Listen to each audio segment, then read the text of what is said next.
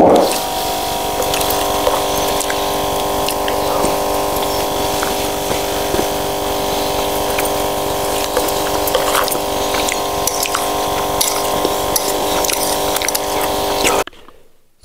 नमस्ते और आप सभी स्वागत है कौन है यूट्यूब वीडियो में। आई होप आप सभी अच्छे होंगे।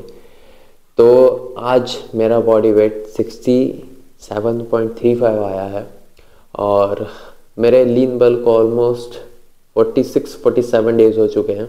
आज को गेन के 47 डेज़ तो इन 47 डेज़ में मैंने अराउंड 4.25 ऐसे कुछ बॉडी वेट गेन किया है। जब मैंने अपना लीन बल स्टार्ट किया था, इस टाइम मेरा बॉडी वेट 63.15 था पहले दिन। और अभी 67.25 तो रफली 4.2515 ऐसा कुछ मैंने गेन किया है। और सबसे अच्छी बात यह है कि जितना भी मैंने बॉडी वेट गेन किया है, उसमें मोस्टली ज़्यादातर मसल मास है। Like 60 to 70 percent muscle mass है। अब मैं इसलिए ऐसा बोल रहा हूँ क्योंकि मेरा बॉडी फैट काफ़ी हद तक मेंटेन है लोअर साइड पे है। और मेरे एब्स भी काफ़ी हद तक विजिबल है फेयरली विजिबल है, दिखते हैं। कंसिडरिंग मैं एक ऐसा बंदा हूँ जिसके जेनेटिक्स ऐसे हैं थोड़ा बहुत ही बॉडी फैट गेन होता है तो सबसे पहले उसके एब्स ही गायब होते हैं और मेरे एब्स के इंसर्शन भी उतने अच्छे नहीं है तो सबसे पहले मेरे एब्स ही गायब होते हैं बट अभी भी वो फेयरली विजिबल है मतलब मेरा मसल मास बड़ा है ओवरऑल बॉडी में। एब्स के मसल भी थोड़े बहुत थिक हुए हैं ग्रो किए हैं। Definitely I am very happy with the progress जैसा जा रहा है। और मेरा यही गोल है कि आने वाले दो महीनों में, डेढ़ से दो महीनों में और कम से कम दो से तीन के जी गेन करूँ। सेवेंटी के जी तक जाऊँ। इसी तरीके से प्रोग्रेस करो, जैसे मैंने अभी तक किया है चार के जी गेन करते वक्त। एकदम क्लीन खाया कार्डियो किया, अपने मील्स को ट्रैक किया वे करे खाया हर चीज़। एंड यही होता है, अगर आप हर चीज़ ट्रैक करके खा रहे हो तो ऑब्वियसली आप एकदम लीन मसल गेन करो क्वालिटी मसल गेन करोगे, ना कि फैट गेन करोगे। डजेंट मैटर कि आप कितना क्लीन खा रहे हो, अगर आप ट्रैक नहीं कर रहे हो अपने फूड्स को तो डेफिनेटली आप बॉडी फैट गेन करोगे ही करोगे, क्योंकि हम मेजर करके जब नहीं खाते तो हम कम खाने वाले ज़्यादा फ़ूड कंज्यूम कर लेते हैं।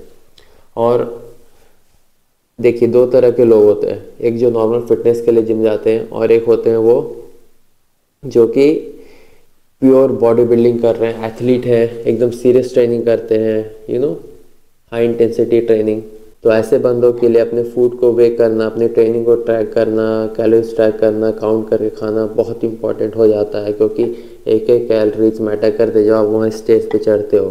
ये सब छोटी छोटी चीज़ें अगर आप अपनी डेली लाइफ में इंक्लूड करोगे, अगर आप एक एथलीट या फिर सीरियस बॉडी बिल्डिंग कर रहे हो muscle building fat loss extreme level पर जा जाके तो डेफिनेटली वेइंग स्केल खरीदिए, उसका यूज़ कीजिए। अगर आप उसका यूज़ नहीं कर then you are missing on a lot of things आपको बहुत बार ये दिखता होगा कि आप जब भी बल्क करते हो तो बहुत जल्दी वेट गेन होता है, आपका कट करते हो तो बहुत जल्दी फैट लूज़ होता है स्ट्रेंथ भी साथ साथ लूज़ होता है मसल भी लूज़ हो जाता है। तो इसलिए होता है क्योंकि आपने फ़ूड को वेट करके नहीं खा रहे हो कैलोरीज ट्रैक नहीं कर रहे हो। इन सब चीज़ों को ट्रैक करना स्टार्ट करो और मैं लिख के देता हूँ कि आप जिस लेवल पर प्रोग्रेस करोगे ना, बहुत अमेजिंग होगा, बहुत अमेजिंग देखिए बॉडी बिल्डिंग कोई रॉकेट साइंस नहीं है कि इसमें क्वांटम फिजिक्स पढ़ना पड़ेगा तो एकदम डिफ़िकल्ट मैथमेटिक्स के इक्वेशंस आपको पढ़ने पड़ेंगे, बनाने पड़ेंगे। बट इसमें जो मैटर करता है वो छोटी छोटी चीज़ों को सही तरीके से एग्जीक्यूट करना है। एग्जीक्यूशन बहुत लोगों को नहीं आता है, चाहे बल्किंग हो या कटिंग सबको पता है कि बल्किंग के लिए आपको सरप्लस में जाना है कटिंग के लिए डेफिसिट में जाना बट एग्जैक्टली वो करना कैसे है? कैसे आपको सरप्लस में जाना है? लीन मसल कैसे गेन करना है? फैट लॉस कर रहे हो तो किस तरीके से प्रॉपर फैट लॉस करना है? एग्जीक्यूशन नहीं पता लोगों को, मुझे भी नहीं पता। जब मैंने जिम स्टार्ट किया तो डेफिसिट का तो पता चल गया क्या है। बल्किंग में कैलोरी सरप्लस क्या है, वो पता चल गया। बट एग्जैक्टली exactly इसका एग्जीक्यूशन सीखने में मुझे काफ़ी समय लग गया। और इसलिए बहुत सारे लोग कोच हायर करते हैं क्योंकि कोच आपकी बॉडी को ज़्यादा अच्छा समझता है आपकी प्रॉपर जो जेनेटिक्स है बॉडी है, उससे एकदम you know customise diet plan training plan वो दे पाएगा। क्योंकि वो एक्सपीरियंस उसने कई बंदों को ट्रेन किया है। तो खुद की बॉडी को समझना है प्रॉपर एग्जीक्यूशन ऑफ़ हर एक चीज़, इसमें टाइम लगता है सीखने में तो बॉडी बिल्डिंग बहुत स्लो प्रोसेस है, इसको टाइम दीजिए। और प्रोसेस को एंजॉय कीजिए, गलतियों से आप सीखोगे, गलती करने से आप मत डरो। सो या और आज है मेरा बैक का workout so I will see you guys in the evening so तब तक के लिए स्टे ट्यून्ड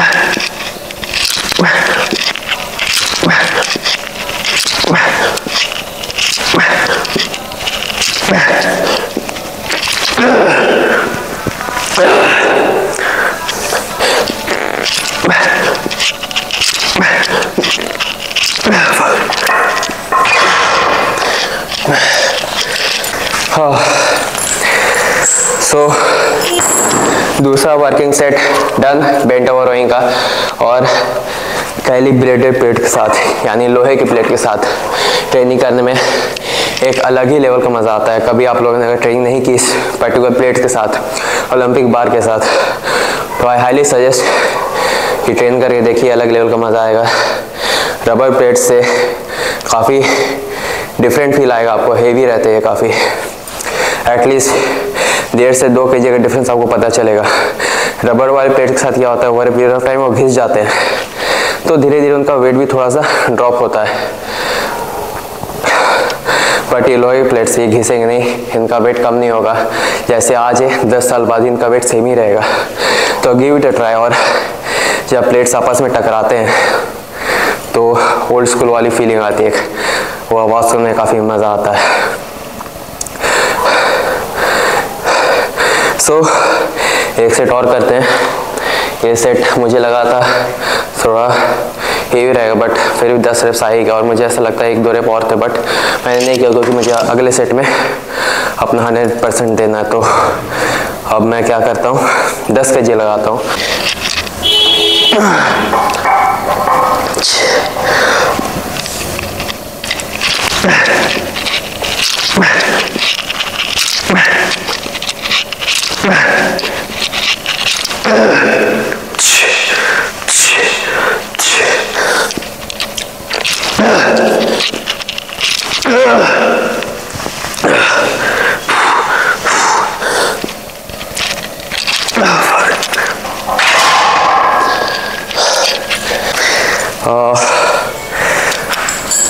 सोच रहा हूँ कि ढाई के जी के साथ एक सेट और करूँ।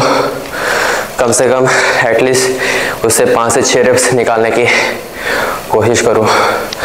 सो so, ट्राई करते हैं। नहीं जाए तो कोई बात नहीं। इतने सारे सेट्स तो अच्छे किए मैंने। एक सेट और ट्राई करते हैं।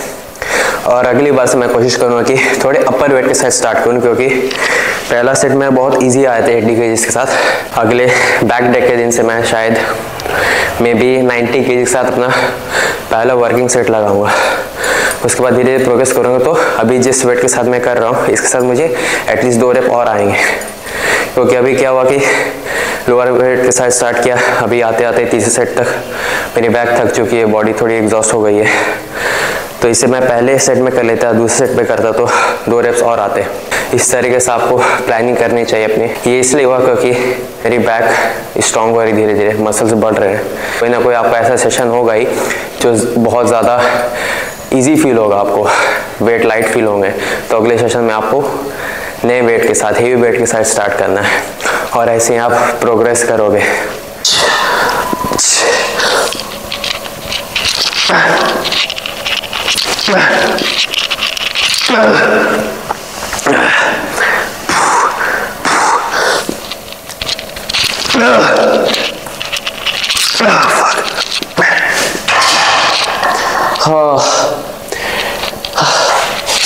डेफिनेटली थोड़ा ज़्यादा ही भी था बट कोई बात नहीं। अगली बार जब करूँगा तो इसे अपने चौथे सेट के बजाय दूसरे या तीसरे सेट में करूँगा तो डेफिनेटली और एक्स्ट्रा रेप्स आएँगे। और एक्स्ट्रा रेप्स मतलब बेटर मसल ग्रोथ तो देखते हैं, एक सेट बैक ऑफ़ लूँगा। 80 के के साथ फेले तक करूँगा, उसके बाद फिर हम चलते हैं लेट ब्लॉन की तरफ़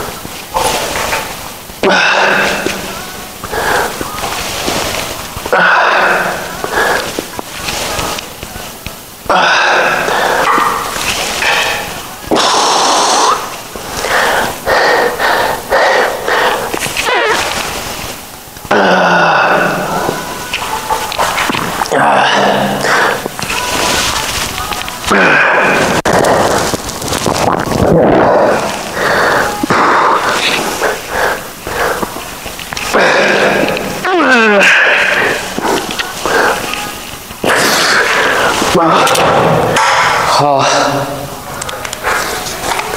हाँ सो जो ट्रेडिशनल लाइट पुल डाउन रहता है, जिसमें वो मशीन या फिर बार आपके चेस्ट के सामने आता है उससे बेटर मुझे ये लगता है, क्योंकि इसमें मशीन साइड में आते तो थोड़ा better range of motion better contraction feel होता है मुझे एज़ कंपेयर टू जो ट्रेडिशनल लाइट पुल उसके कंपैरिजन में। हालाँकि, अगर आप मसल ग्रोथ की बात करोगे प्रोग्रेस की बात करोगे तो मैंने उससे भी अच्छा खासा प्रोग्रेस किया है और इससे भी किया है। बट जो बेटर है, मैं हमेशा वही प्रीफर करता हूँ। इवन अगर 10 परसेंट पाँच परसेंट का वो डिफरेंस क्रिएट कर रहा है तो over a period of time वो पाँच परसेंट दस परसेंट भी काफ़ी बड़ा इम्पैक्ट लाता है। सो so, कभी कभी हम हमें उन एक्सरसाइज को छोड़ना पड़ता है जिन्हें हम बहुत पसंद करते हैं। वो उतना हमें अच्छा रिज़ल्ट नहीं दे रहे। हैं अगर आपका गोल है मसल बिल्डिंग तो उन सब एक्सरसाइज को चूज़ किए जो आपको मसल बिल्डिंग में एक्चुअली हेल्प करे बेटर मसल माइंड कनेक्शन आपके जॉइंट सेफ़ रहे। ताकि आप आने वाले 15-20 सालों तक अच्छे से ट्रेनिंग कर पाओ। और आपका कंटिन्यूसली धीरे धीरे स्लोली प्रोग्रेस होते रहे मसल खुद होते रहे। अगर वो सब एक्सरसाइज करते रहोगे और उस तरह की ट्रेनिंग करोगे, जिसमें आपका सिर्फ़ स्ट्रेंथ ही बढ़ रहा है, और मसल बिल्डअप उतना नहीं हो रहा है तो आपका कुछ जो गोल है मसल बिल्डिंग वो कभी ढंग से होगा ही नहीं तो अपना गोल को डिफाइन कीजिए, उसके हिसाब से अपना ट्रेनिंग प्रोग्राम बनाइए, उसे कंस्टेंटली फॉलो कीजिए और उसमें प्रोग्रेसिव ओवरलोड कीजिए। As simple as that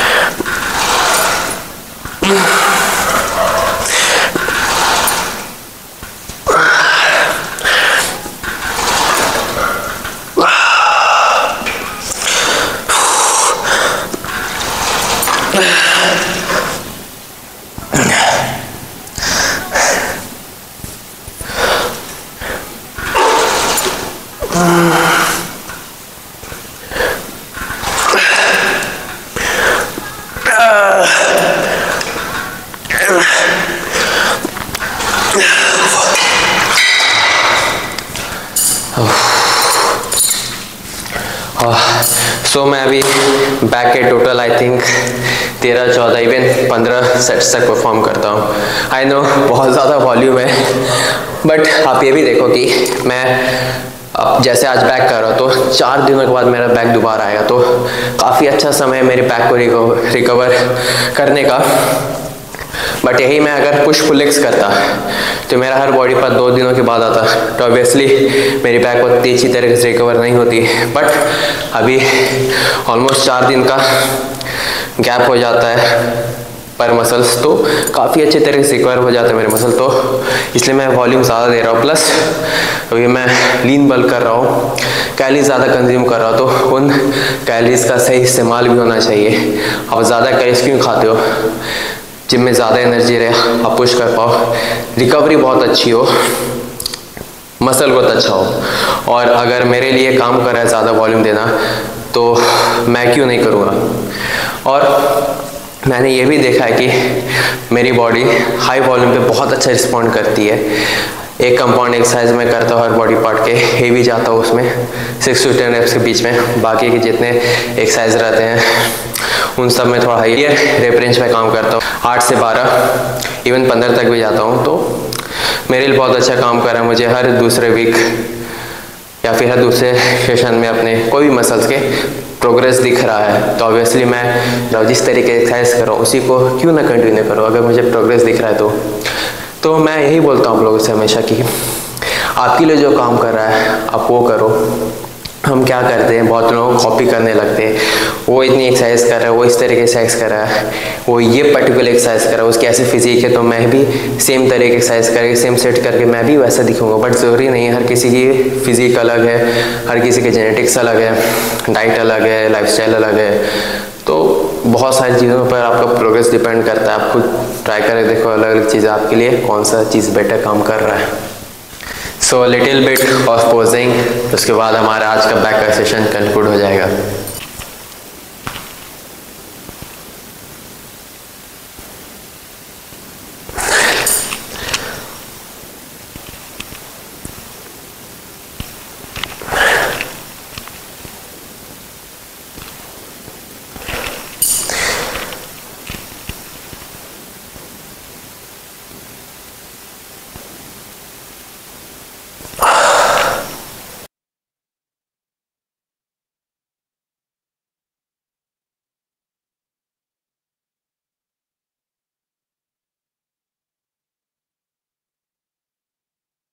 तो दिन का लास्ट मील 250 ग्राम राइस घर पे बनी थोड़ी सब्ज़ी जो कि मटर की है, और थोड़ा सा बचा हुआ चिकन इससे पहले मैंने खा लिया था, बाकी चिकन इससे पहले वाले मील में। और ये मेरा पोस्ट वर्कआउट मील भी है, और दिन का लास्ट मील भी है।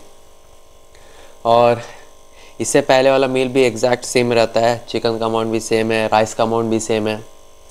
और मैं हर चीज़ ट्रैक करके खा रहा हूँ। मैंने 250 ग्राम राइस लिया वाइट राइस ऐसे नहीं बोल रहा मैंने इसे मेज़र किया है। और ये मैं डेली करता ऐसा नहीं कि बस आज किया हर एक मील में मेजर करके खाता हूँ, हर एक फ़ूड को ट्रैक कर रहा हूँ। तभी मैं अपना बॉडी फैट परसेंटेज काफ़ी हद तक मेंटेन कर पा रहा हूँ। इवन तो कि मैं इतनी एक्स्ट्रा कैलोरीज कंज्यूम कर रहा हूँ लीन बल्क कर रहा हूँ तो क्वालिटी मसल मास गेन करने के लिए आपको ये करना पड़ेगा, वरना मैं अगर ट्रैक नहीं करूँगा तो मेरा बॉडी फैट भी काफ़ी तेज़ी से बढ़ेगा। इंस्टेड ऑफ़ मसल मुझे मसल बढ़ाना है ज़्यादा, ना कि बॉडी फैट थोड़ा बहुत तो बढ़ेगा, मैं जानता हूँ बट इतना भी नहीं बढ़ना चाहिए कि आप बीस परसेंट, पच्चीस परसेंट बॉडी फैट तक जाओ। तो मैं लेता हूँ ये मील और इसके बाद मैं एक बाथ लूँगा, थोड़ा बहुत बुक रीडिंग करूँगा और उसके बाद चला जाऊँगा सोने। और मैं मिलता आप लोगों से अपनी अगले वीडियो में। तब तक के लिए अपना ख्याल रखें, अच्छी डाइट ले, अच्छी ट्रेनिंग करें। Take care and signing off